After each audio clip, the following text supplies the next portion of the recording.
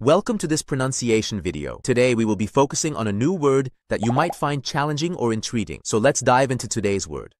Veneto, which means, a region in northeastern Italy with Venice as its capital. let's say it all together. Veneto. Veneto.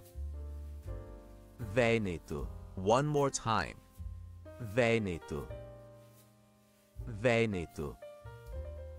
Veneto. Thank you for joining us on this adventure in pronunciation. Remember, language is a journey, not a destination. Keep exploring, experimenting, and expanding your linguistic horizons. We'll see you next time.